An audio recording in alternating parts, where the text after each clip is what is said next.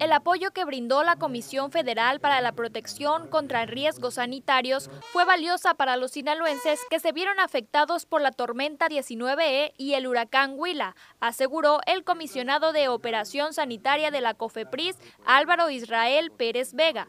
Señaló que fueron diversas las actividades que se realizaron en conjunto con servicios médicos y los cuerpos de auxilio y rescate para prevenir enfermedades o brotes en los lugares afectados por inundaciones causadas por los fenómenos naturales. Destacó que en las zonas afectadas por la tormenta 19E en el centro y norte del estado ya concluyó la contingencia de emergencia en situación sanitaria, quedando algunos pendientes.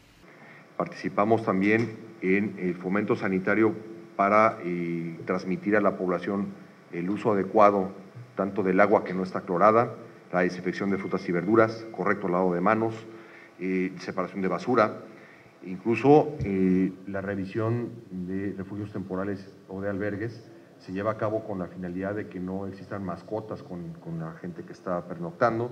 Hicimos revisión, pues tanto de restaurantes o de establecimientos que preparan comida, hicimos revisión de escuelas, hicimos revisión también de pozos y de sistemas abastecedores de agua. Eh, los municipales hacemos revisión de las pipas que tienen agua cuando se rompe alguna tubería. Eh, y todo ello eh, pues representa o ahorita nos puede nos permite afirmar que no ha habido brotes y no se prevé que exista algún brote por esta contingencia. En el caso del sur del estado y norte de Nayarit comentó que se actuó de manera oportuna y se continúa atendiendo la situación. Puede concluirse entonces que en tema de brotes no hubo brotes y no se espera ningún brote epidemiológico en el futuro.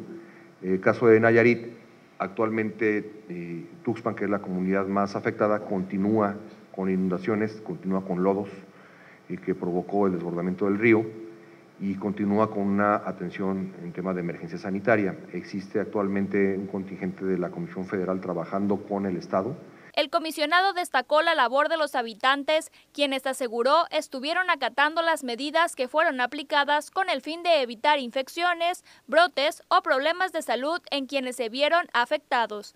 Con imágenes y edición de Gustavo García, reportó para las noticias TVP Carelia Macedo.